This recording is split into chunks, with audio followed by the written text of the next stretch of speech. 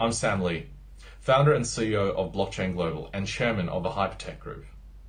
2020 has been a most profound year as we've witnessed an accelerating geopolitical shift that has resulted in worldwide economic uncertainty. The globe is moving towards a more multipolar society, and with that, trust and transparency is high up on the agenda. Blockchain being a technology that forms the trust engine of this ecosystem is here to create a new form of consensus that allows the world to go back into growth. So, over the next couple of minutes, I just want to highlight how Hypertech is uh, the tip of our technology spear to drive this agenda as we bring technology into some of the world's largest multinationals. Specifically in custody, healthcare, as well as insurance tech. We're here to drive the technological outcome.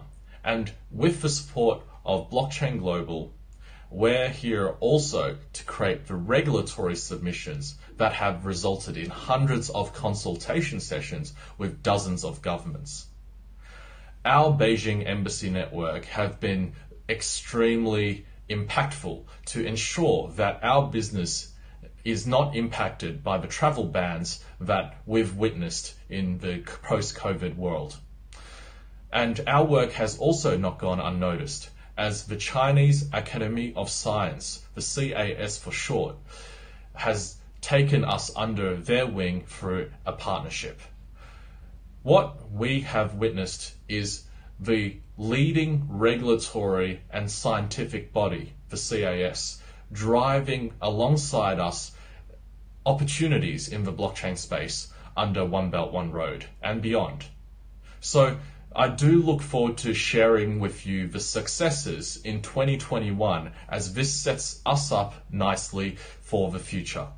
I again wish to thank our leadership, our staff, for their continued hard work and driving the future outcome of global decentralized trust. And with that, I just want to finally say Merry Christmas, have a safe festive season, and a prosperous new year. Thank you so much.